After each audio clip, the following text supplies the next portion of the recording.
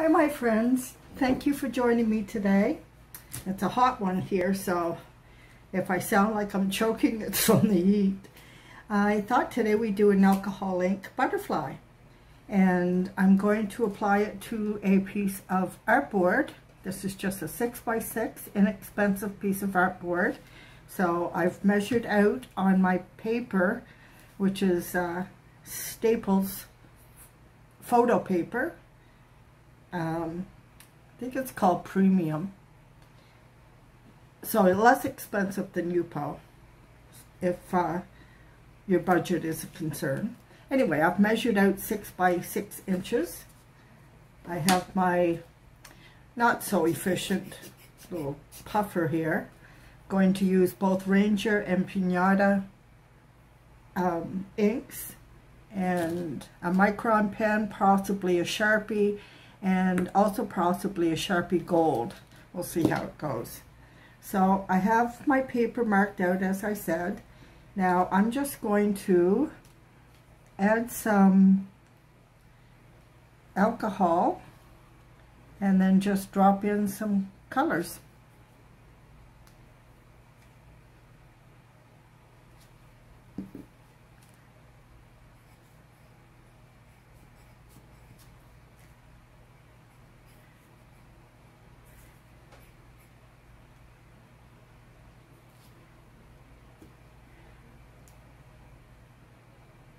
Now I see these uh,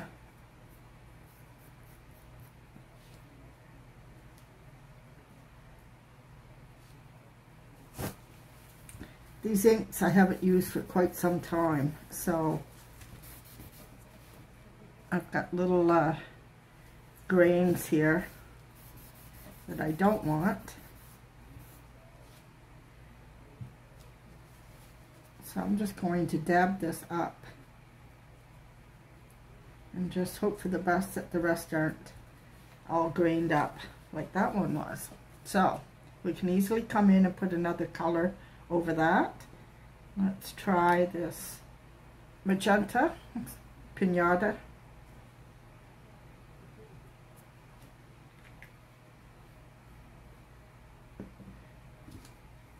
Now I've lightly outlined where I want my colors to go. Lightly outlined a butterfly on the edge here. And yeah, I'm just going to just keep coming in with my colors.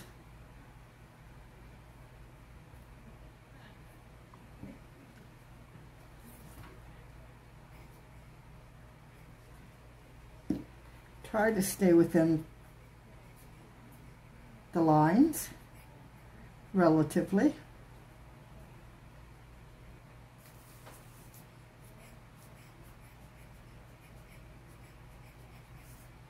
We're going to uh, bring our pen in later to mark out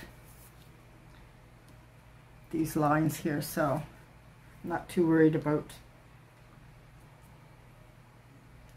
going over any area.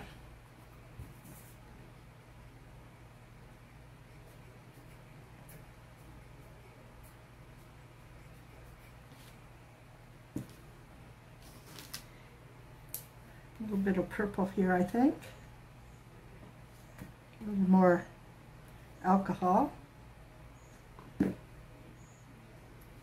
This is really dark. It's Pinata Passion Purple. It should be okay with the extra alcohol.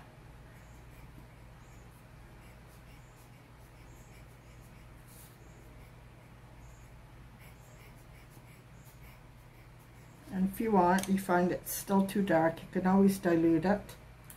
I find this quite dark, so.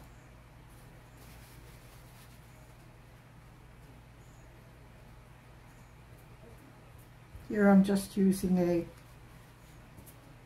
tissue.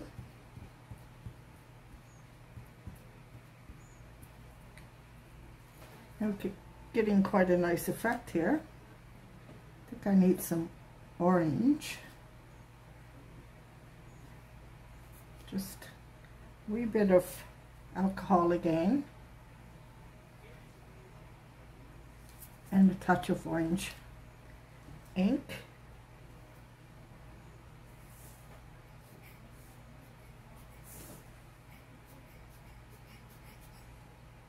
Okay. Sometimes it'll gather in an area and make it very dark.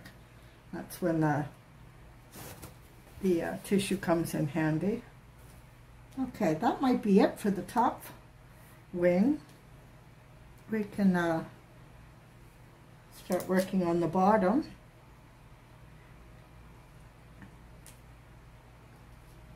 Such a pretty blue.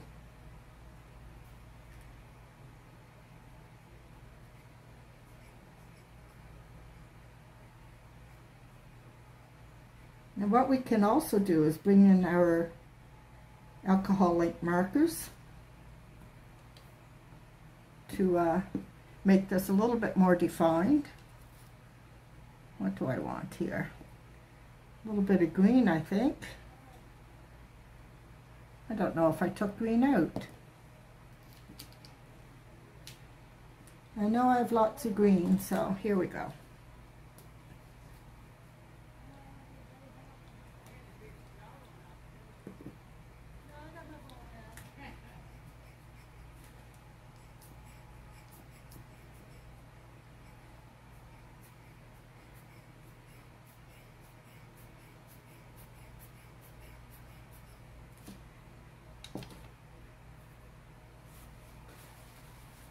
Okay, we don't want the bottom to overpower. So, dabbing in again. So we'll bring some of these colors down. Think some yellow at the tip. Just a drop of alcohol.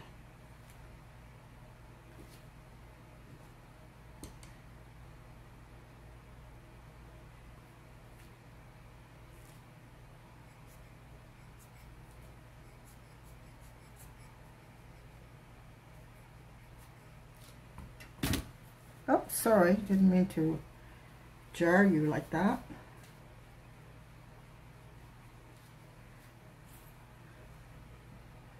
A little bit of the uh, magenta.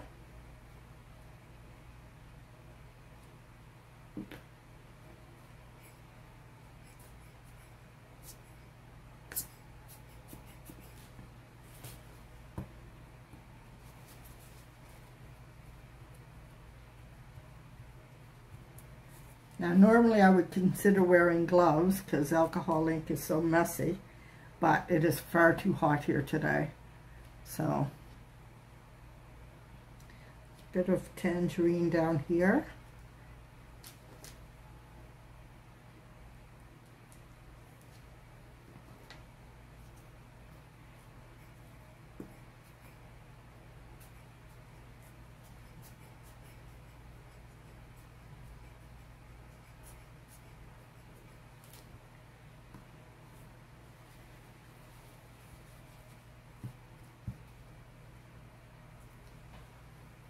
And some of that purple. I'm going to try to take it easy.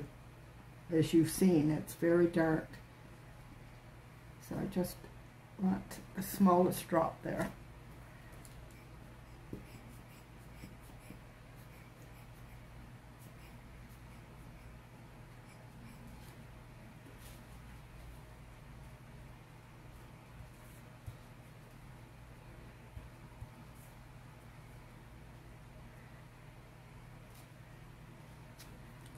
Bit more. I don't want that circle like that.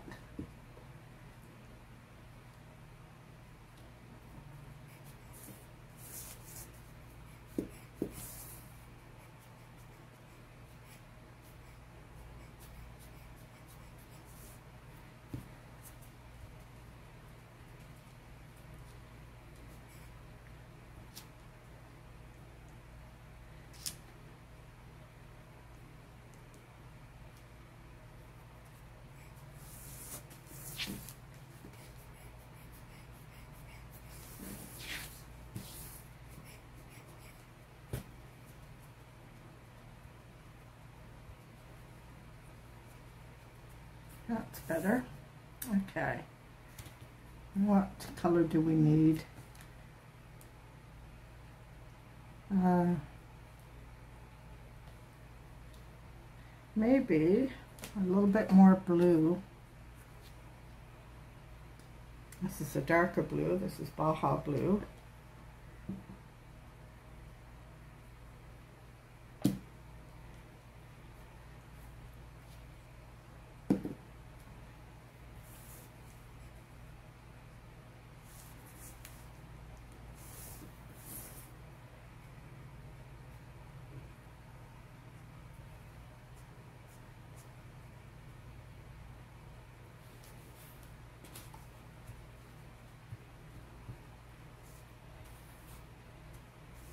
And that should just about do it. Now I'm going to give that a few minutes to dry. I'll probably come in with my dryer and uh, push that along. Now we need to draw in our butterfly's body and our line work. So I'll be back in a flash with this all dried. Okay, so my, I've erased my pencil lines and my alcohol ink is dry. Um, and it needs to be totally dry. If you're going to use micron pens especially, they don't like dipping into the alcohol ink. I'm going to start off with my 01 micron pen and may end up going to my Sharpie, which is a slight bit thicker. If you've got a 02, you might use that and going to draw in the body of my caterpillar.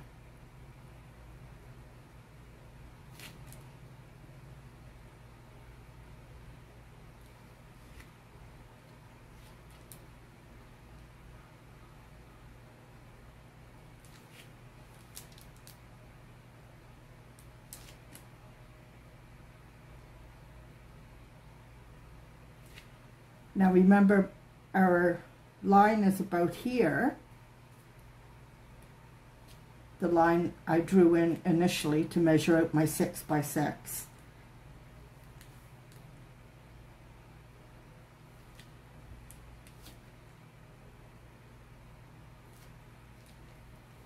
So,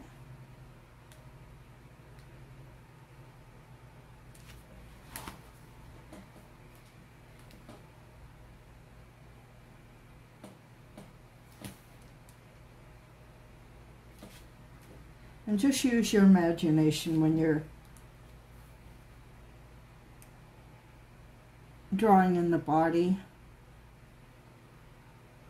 This is the fun part. This is the doodling type time. You see I'm making these different sizes.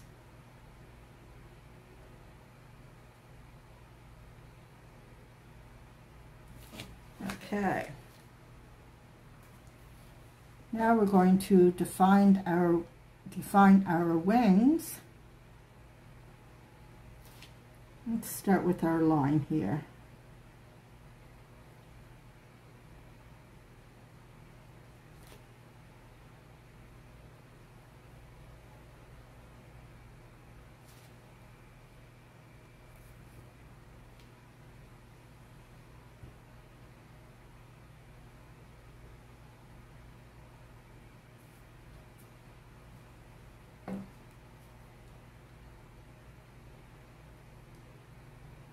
And again, this is where you get to be as creative as you like.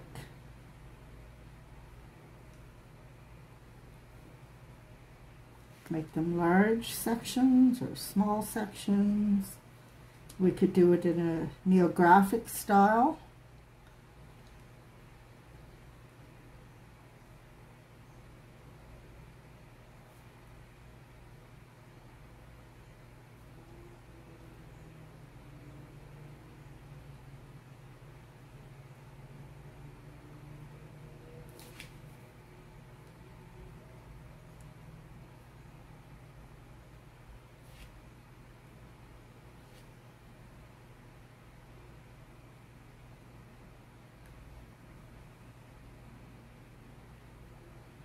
You could make this checkerboard if you wanted to. You could use white ink instead of black.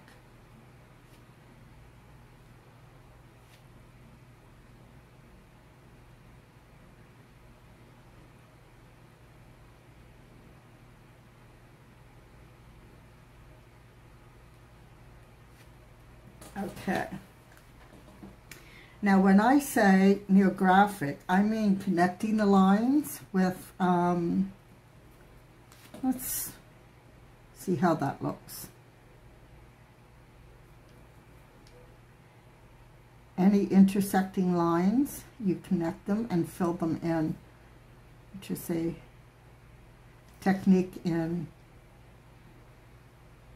neurographic artwork.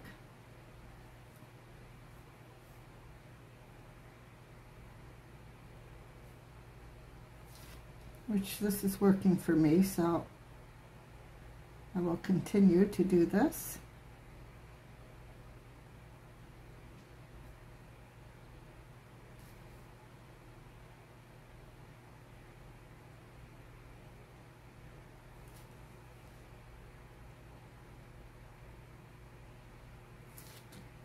As I said, just where the lines intersect, like this, it intersects right here. So I will connect. Now if it goes through several lines like this, and you're going to do it on several areas. Here, here. So four areas where those intersected.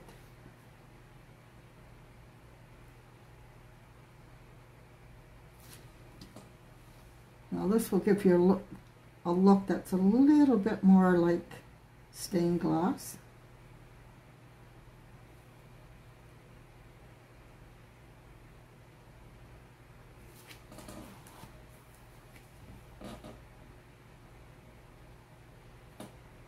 Okay. Now I'm going to continue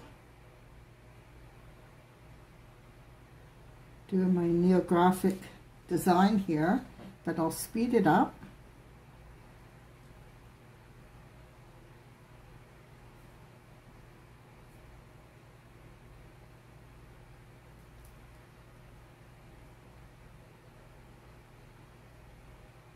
And we can come back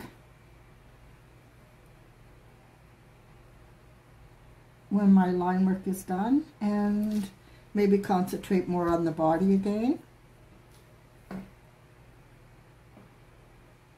So, off we go.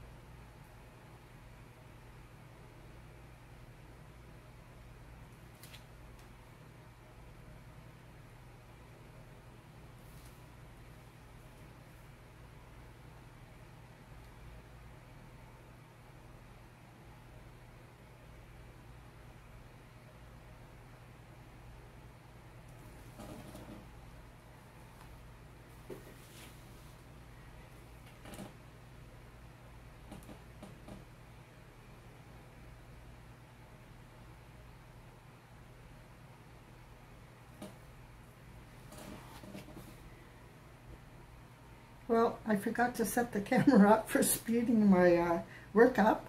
So I'm going to do that now. I hope you were able to bear with me while I was doing that. I will speed it up now and then we'll come back.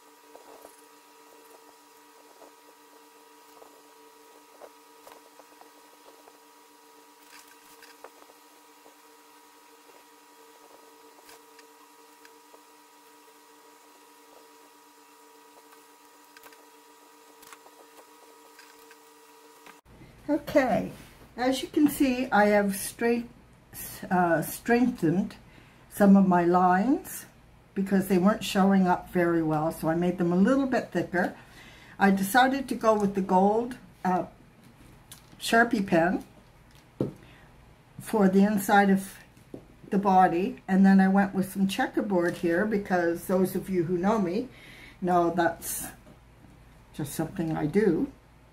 And I thought, just to add a little bit more interest and tie the body in with the uh, wings, that we would do a little bit of checkerboard here, just making small strips here, horizontal and diagonal lines, and then we come in and fill every second square. I just find and maybe this is just me, but let me know in the comment section if you find this too. Adding black just adds so much to your color, and adding black and white checks like this adds that much more. So just adds interest for your eye. And maybe I'll put some down here just to tie it up a bit. And add another line here because I don't want it quite this big.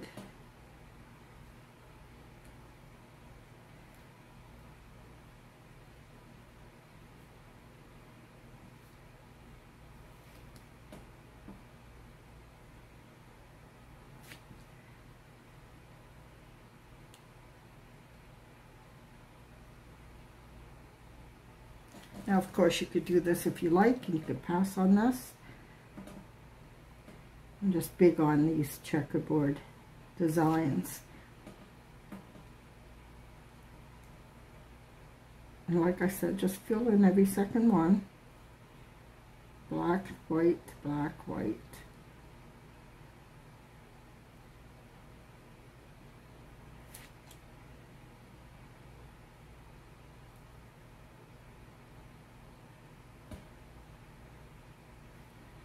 And in this case some yellow and black, black, yellow, black, white.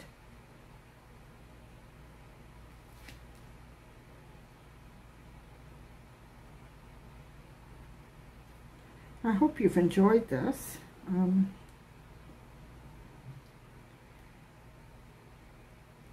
thumbs up always helps. It helps promote my channel so that more people you know, it pushes it forward so more people see it. Uh, and, you know, only do it if you liked it, of course. So I think that just about does it for our...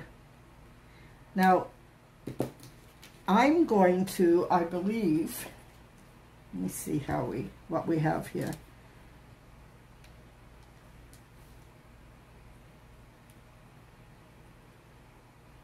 Now this is my size, the size of my board. So it's okay if we're cutting off some.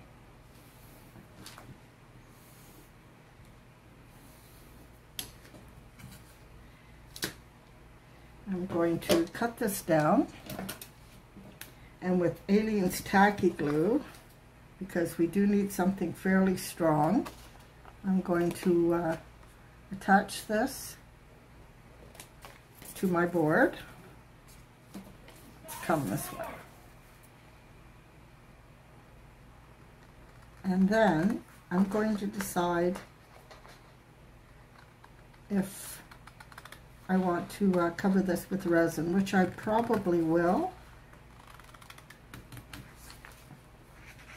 Just to give it a glass-like finish.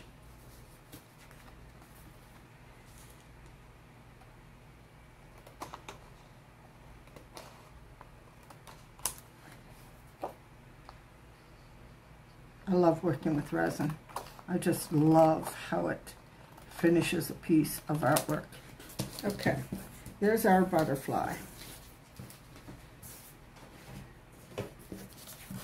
Now this is going to fit onto our 6 by 6 I think I'm just going, uh, I don't know about the Aleene's tacky glue. I may just yeah, I think I'm just going to use um, Mod Podge for now, or acrylic medium, whatever, you know, whatever you use to glue things down.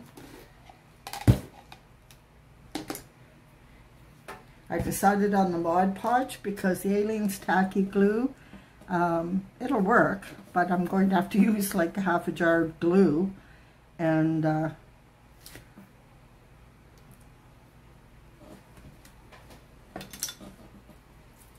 and it may uh, buckle a little bit.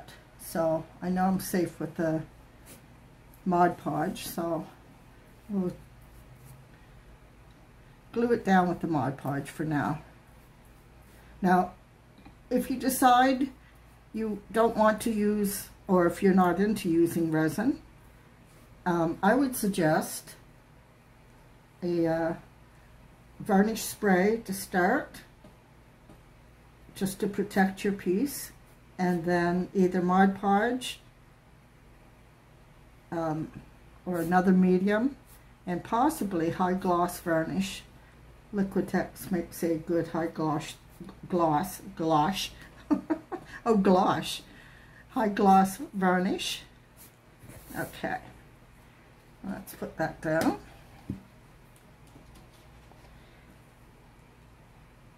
But as I said, I will probably use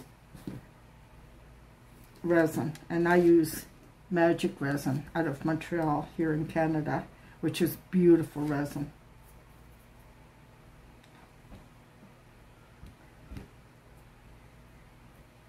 Beautiful resin at a decent price. Okay. Now a little bit of this will come over the edge of my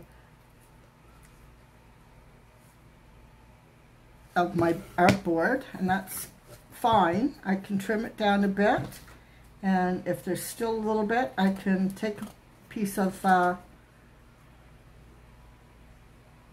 sandpaper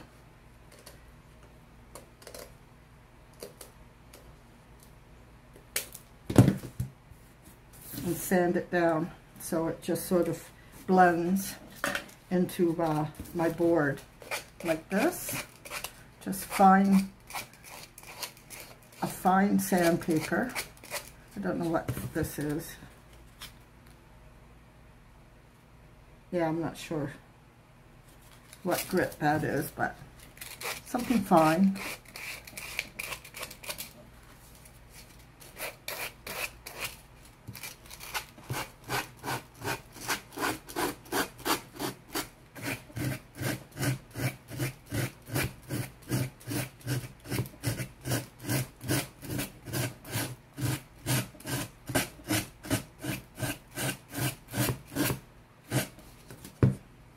a little bit, a little bit too much there, so I'll have to trim that off. Okay, come back with my sandpaper again.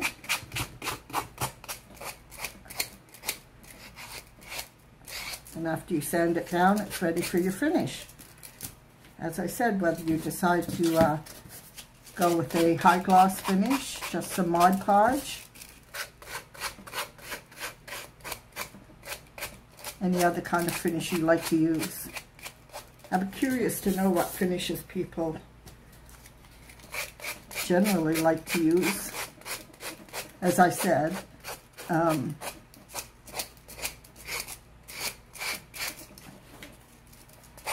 resin is my finish just because it gives it such a gorgeous glass look. So I will be doing this in resin. And I will come back and show it to you. The camera doesn't pick it up very well, but nonetheless, I'll show you how it looks with the resin.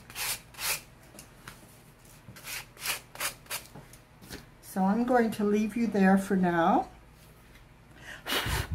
Going to put my John Henry here discreetly. And then we'll come back and I'll show you the finished product. For you, it will be seconds from now. For me, it will be tomorrow. So, yeah. See you in a bit. So, here we have it, folks. This is our little piece, our butterfly finished with resin. As you can see, it makes for a gorgeous glass-like finish. And what I do is I paint the edges in black and add a hook in the back for hanging.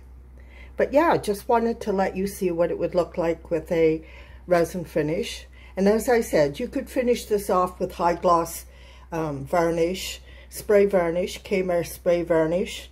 You could use Mod Podge, all kinds of things. So yeah, this is just what I prefer. So hope you have a fabulous day and I'll see you on the next one. Bye for now.